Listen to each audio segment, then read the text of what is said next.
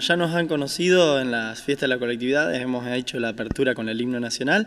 Esta es la banda, la orquesta folclórica llamada Sikuri Takiri, eh, del 2016 que está activando aquí en San Carlos de a poquito. Empezamos con tres alumnos, como ya lo había explicado. Y bueno, hoy con una nueva incorporación hace muy poquito, ya somos alrededor de 12 eh, participantes en esta orquesta y bueno, siempre con colaboración de otras personas. Y bueno, la noticia especial que tenemos es que hemos sido seleccionados en uno de los proyectos Ingenia, dependiente del gabinete joven de la provincia de Santa Fe. Y bueno, fuimos eh, ganadores de un aporte de 24.400 pesos, los cuales fueron apoyados a través de un proyecto que presentamos llamado El SICU, un diálogo profundo entre culturas sudamericanas. Eh, ¿A qué los habilita ¿no? tener eh, de alguna manera eh, este proyecto Ingenia con este monto de dinero y que seguramente lo invertirán en algo relacionado al proyecto? Sí, claro, el proyecto lo que estilaba era que este año se, se, presenten los chicos a hacer una, presentación para todos, valga la redundancia, y bueno, los chicos hagan la presentación para, el público en cualquier entidad de San Carlos, se presenten en en diferentes propuestas que se le presenten. Y bueno, adquirir instrumentos en calidad de, reciclaje como PVC, artículos de, caja, madera, cualquier elemento que se pueda reciclar, bueno, reciclar para que la instrumentación crezca. Y bueno, así bueno, ya adquirimos dos instrumentos, un toyo, un registro grave en, en instrumento aerófono, adquirimos una guancara, también, que es muy similar a un bombo, un poco más grande, así tiene un tono mucho más grave, y que es uno de los instrumentos, a diferencia del bombo, que es típico para estos instrumentos aerófonos andinos en la zona del noroeste argentino.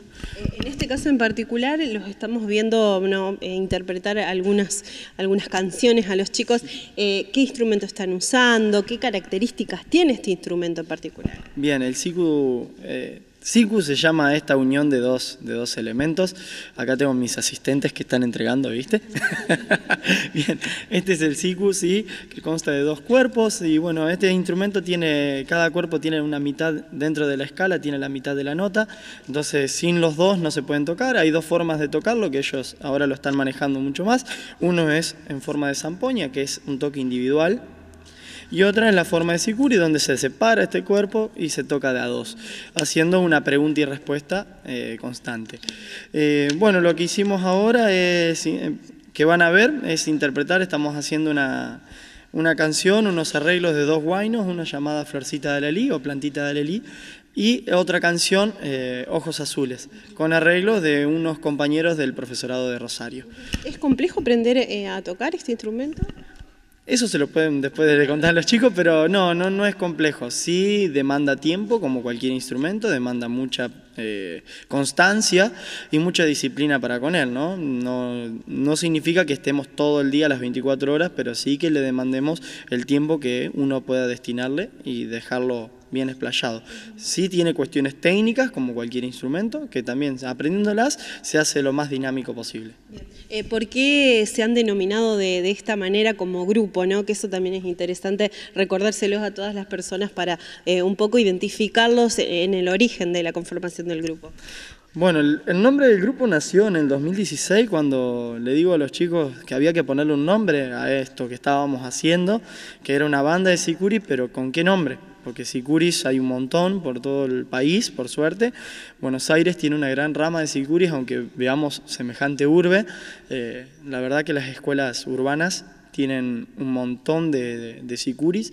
Y bueno, le pusieron el nombre Sicuri Takiri porque son creadores de música y danza, se animaron a bailar en ciertos momentos y mientras bailan también eh, están tocando y hacen música con su cuerpo. Es por eso que son creadores de música y danza y bueno, así también en algunos años se han animado a aportar y hacer arreglos en, los temas que hemos intervenido.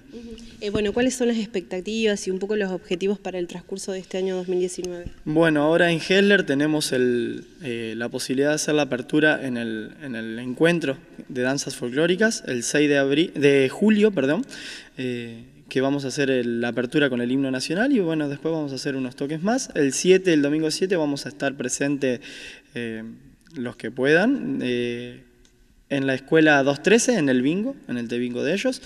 Y bueno, así durante el año ir aceptando o viendo dónde nos da la posibilidad de poder movilizarnos, si bien eh, nos gustaría poder salirnos de San Carlos, también demanda una fuerte demanda económica poder salir y transportarnos, siempre que lo hacemos de forma gratuita, ¿no? pero pedimos un, aporte económico para poder transportarnos, ya que nos cuesta un montón y ya nos va, a, ya ahora tres, tres autos sí o sí. Eh, y bueno, eh, este año, como final de año, el objetivo con este proyecto también era el cierre, es el cierre con una propuesta artística donde cada uno de ellos tiene una obra a presentar como evaluación del año y, que sea un repertorio y, una, y un espectáculo en música aerófona andina. Así que bueno, se están viendo posibilidades tal vez con con diferentes entidades de San Carlos, San Carlos Sur más que todo, a ver si podemos colaborar con ellos y ellos con nosotros y así poder unirnos y trabajar la música en nuestra zona.